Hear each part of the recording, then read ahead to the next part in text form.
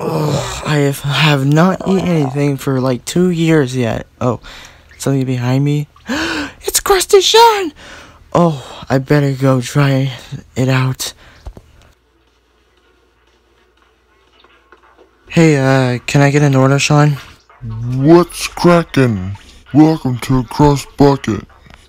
I've got snacks and drinks that'll increase your experience and cash flow when you battle. Just give me a ticket and I'll hook you up with an item. What will it be?